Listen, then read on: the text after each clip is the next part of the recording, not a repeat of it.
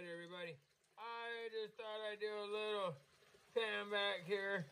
Now, this is not everything. The snuffer bottle still has a bunch in it. This was just the very last bit of the cons tub.